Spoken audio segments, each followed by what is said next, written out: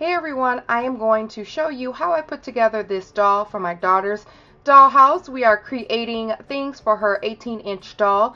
You can use this with your American Girl doll, your Generation doll, My Life dolls, any of those dolls this will work for. And I adapted a plan from American Girl Ideas. Please check her link in the description box. I adapted it to make like a day bed, which is what is the look we were going for. So if you're interested to see how I created this, stay tuned.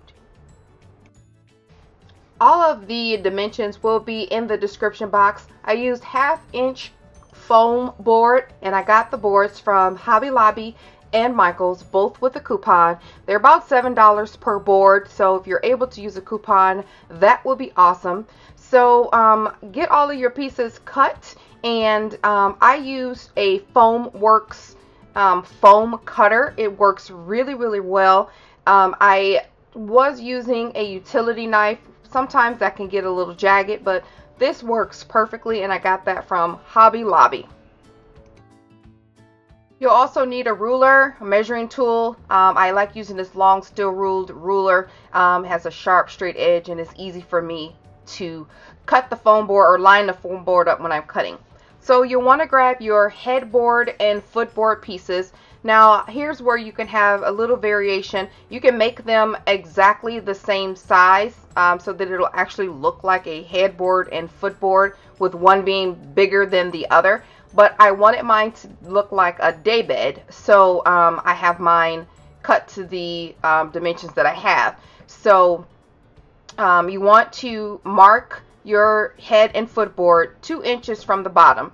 This also can be changed because um, depending on how high you want your headboard to be. So I just took the ruler and I marked two inches from the bottom on both sides of the headboard and then both sides of the footboard because I want to be able to either put a trundle underneath or a storage compartment where I can um, store her um, excess doll clothes underneath the bed so it'll be easy to pull out. So um, go ahead and mark your dimensions if you want to do it exactly how I did it and again I'm just doing two inches from the edge on both pieces.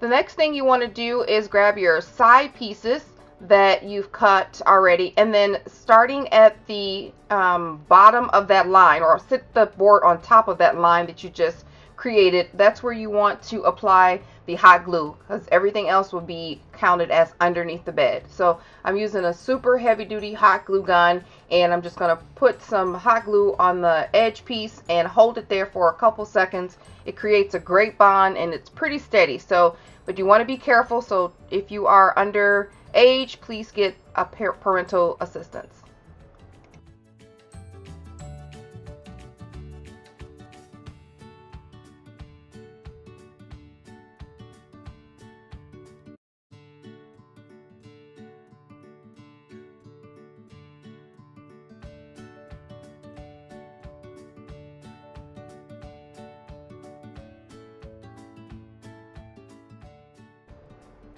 And you just want to go ahead and repeat that for the other side.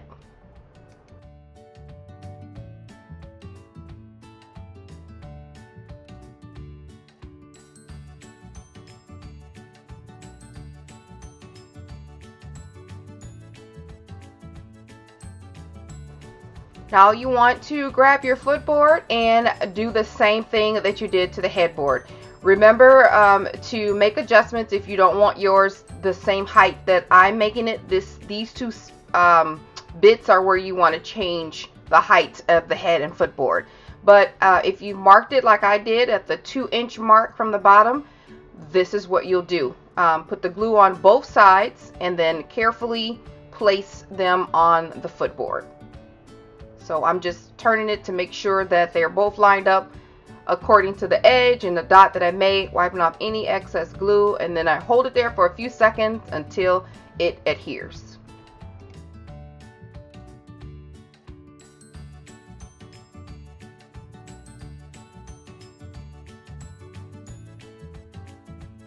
So we're all done with the frame. Now you want to take your foot legs and line them up on all four posts. So we're going to line up the, the top of the foot leg with the top of the headboard and footboard on both sides.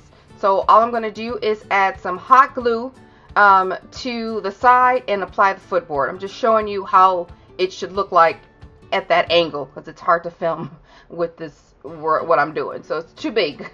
so um, yeah, just add the hot glue to the top of, uh, to the, the side of that footboard, which is where I'm starting. And if you marked your boards with a pencil, be sure to erase those before dressing your bed. Side notes. So add the hot glue, then add the foot legs, remembering to line it up from the top. So center it in the middle and line it up from the top. Pretty, pretty simple.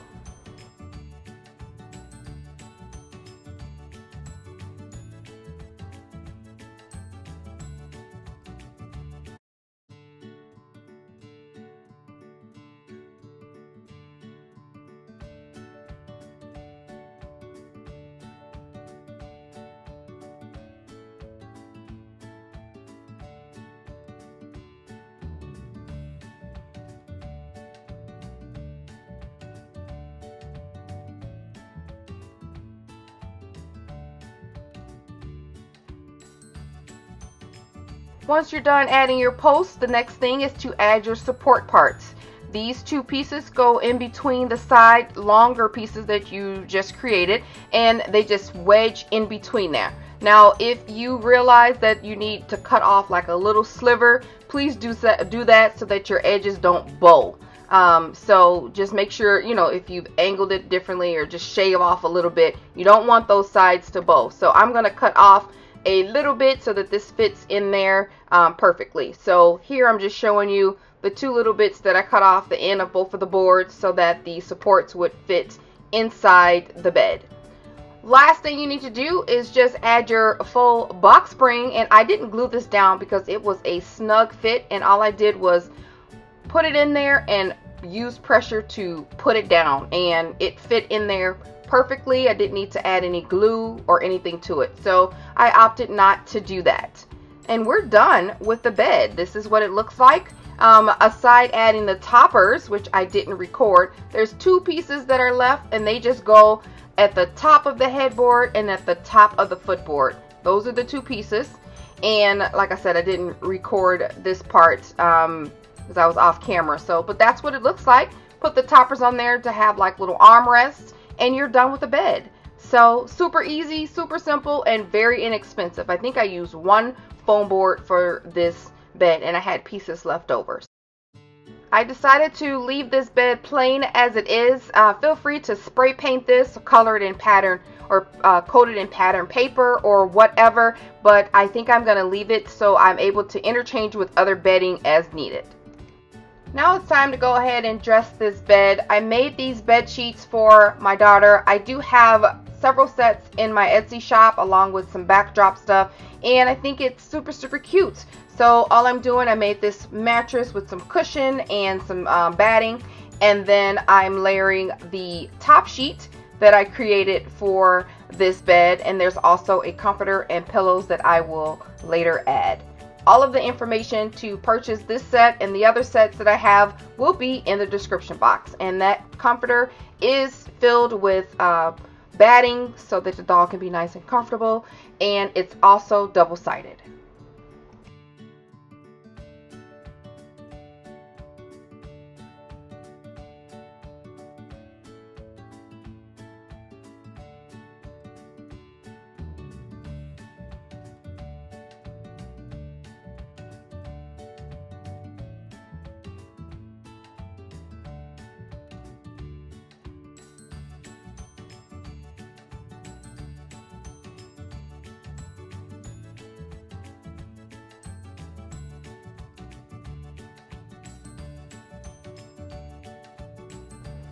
So there we are guys. The bed is all made up and ready for her to play with.